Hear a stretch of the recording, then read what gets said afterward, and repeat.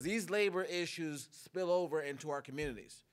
When we talk about misclassification, we talk about unemployment compensation, we're talking about real issues like minimum wage.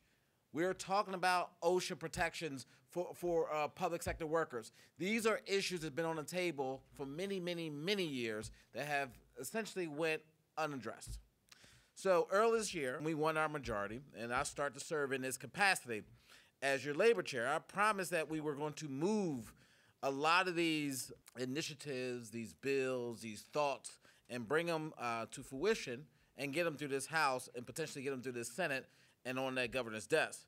So for more than a decade under the control of the previous or current uh, minority party, this committee did not prioritize these bills. They essentially went undermined and weakened a lot of the workers' protections that we've had.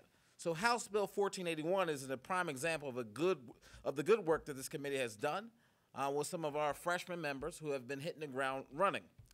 Workers who are unemployed due to work stoppage or um, should not be denied the ability to provide for their families and pay their basic necessities. Unemployment compensation and the public benefit that the employers and workers both fund, it should be available to the workers who decide to strike when their workplace is so bad that they take the extraordinary step.